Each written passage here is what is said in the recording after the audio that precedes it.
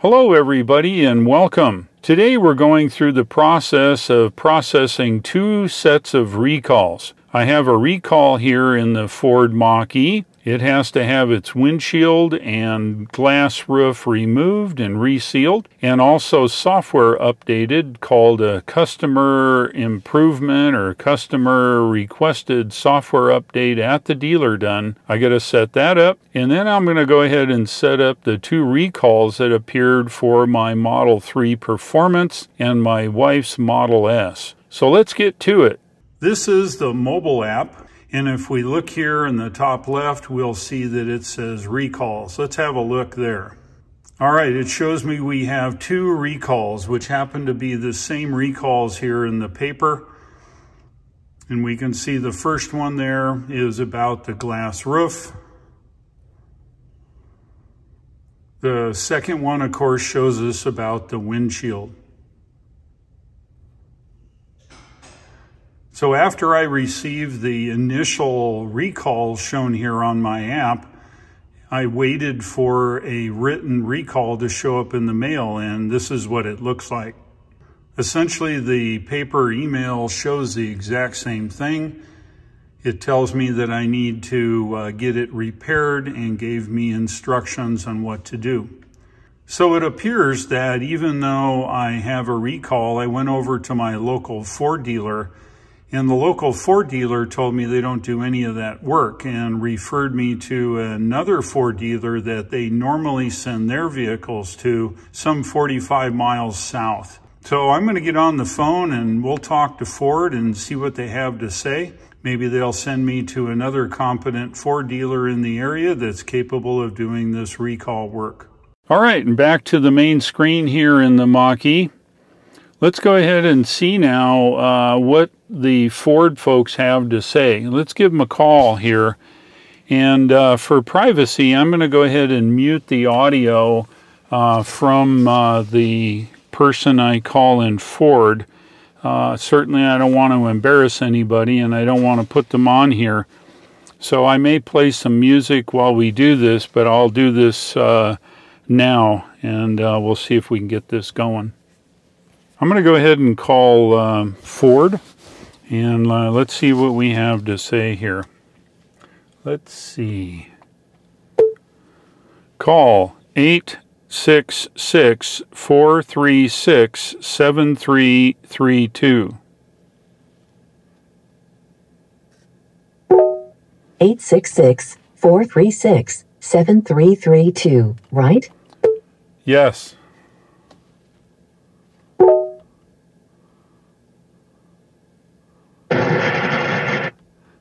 What's all Thank that? you for calling the Ford Motor Company. For English, press 1. Para ser atendido en español, marque dos. For more information about recalls, you may visit owner.ford.com or owner.lincoln.com and select the Service and Maintenance tab. You may also download the Ford Pass or Lincoln Way app or visit your nearest Ford or Lincoln dealership for more information. If you are calling in response to a recall or customer satisfaction program letter, please press 1. To hear about recalls for your vehicle using Please locate the five-digit recall number at the top of the letter and enter it now using your keypad. For example, if your recall number is 12S34, please enter the numbers 1, 2, 7 for the letter S, 3 and 4 now. Please locate the five-digit recall number at the top of the letter and enter it now using your keypad.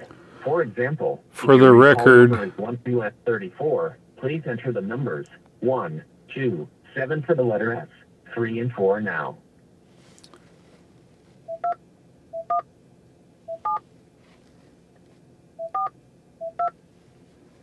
We did not recognize that entry.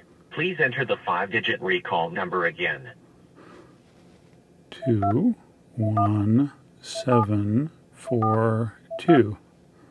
We unfortunately do not have additional information about that recall in our system. For more information about recalls, you may visit Okay. owner.ford.com or owner.lincoln.com and select the Service and Maintenance tab. You may also download the Ford Pass or Lincoln Way app for more information. For more information about recalls or to submit a refund request, please contact your dealership. So am I You will need to crazy? Allow six to eight weeks for reimbursement. to be processed. If you have 21S42 already been to your Ford and Lincoln 21 dealership and are still Charlie 22. concern, Please press 1. Your call is being transferred to a representative for assistance. Okay. Contacts made to or from the Customer Relationship Center will be monitored or recorded for quality or training purposes. For more information on our privacy practices, and for California residents, to exercise your rights under the California Consumer Privacy Act, go to Ford.com. To better serve and understand our customers, we would like to ask you a few questions regarding your experience with us. When your call is completed, please remain on the line to participate in a brief survey. Please hold for the next available representative. Hello, thank you for calling Ford Motor Company. Okay, there you have it. Ford was helpful. I talked to uh, a guy named, uh, I'll change his name. All right, recall appointment set up at the local dealer here. I found a dealer through the guy that I spoke to, Fred, which isn't his real name, at Ford. Very helpful guy. He checked around, located a dealer that is capable of doing the recall here in the E, located up in Hendersonville. Uh, he had the guy on the line, and I talked to John, not his real name, and was very helpful in setting up an appointment. He shared with me that they have an outside company that comes into the dealership to do the recall work for the roof and the windshield. So that's cool. Uh, I'll be going up there this month and uh, get this work done. Uh, one thing I didn't ask uh, John, uh, I'm assuming that they will also be updating the software, and I'm pretty sure that uh, John didn't realize that. So I'm going to give him a call back uh, off camera here and make sure that they're capable of doing the software update as well. So with that, that's what's involved in getting a recall done here in the Ford Mach E. I guess that's SOP or standard operating procedure here uh, when you call uh, Ford uh, to do it. Seems pretty efficient. Uh, it went along pretty nice. So there you go. On to uh, the next recall. I actually have a, uh couple recalls that I've heard through Twitter in the Tesla, and I'll go ahead and document that too. So uh, let's uh, go ahead and uh, do that. We can actually do that right here uh, in the uh, in the Mach E, uh, and I don't need to call anybody. I actually fire up my app here, as you can see. Let's go down to Service. We want to request service here on the top. Select the service, something else, describe. We have recall uh, for backup camera. Okay. Don't need to send anything. I'm pretty sure they know what that is. Uh, current location. Yes, this is my current location. And we'll do that. There, that's how we do it. And uh, we'll set it for 10 o'clock. We'll do next. It's at Matthews. And uh, something else, because I'm going to now request uh, recall. Let's see. Uh, hold on. Something else here.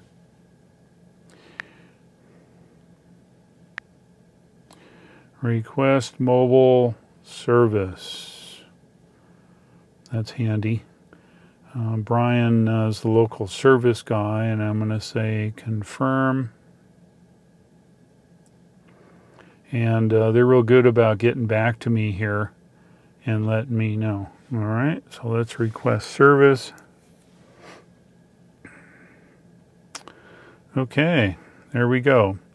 That's as hard as it is to um, set up the recall. They'll either schedule me at the Matthews if mobile is not available, or they will allow me to uh, have the mobile guy. So I'm going to go ahead and now uh, get out of here. No, I don't. Okay, then we're just going to back up now.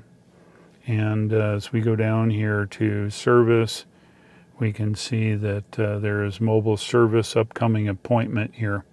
So that works out okay. All right, so there you go. That's how I schedule service on a Tesla. Um, makes it very easy. Uh, they will now send me a text into my inbox. My inbox is right here, and uh, they will communicate with me here on the inbox here on the Tesla app and uh, we'll set up a final time of exactly where and when we are going to be doing what we're supposed to. Well, there you go. That is mobile app, and that's exactly how you do a recall. Now, I've got a recall on my wife's Model S. The front latch needs uh, work. As you can see, we've got new software for that as well. Let's do a service recall for my wife's car. Same thing. We'll go down to uh, other and uh, we want something else. I come up here and I put recall,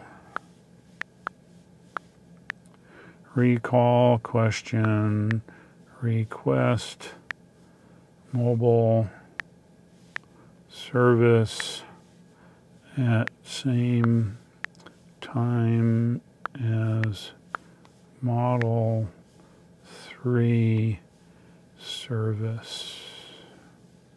All right, so that's what I do there. I click next.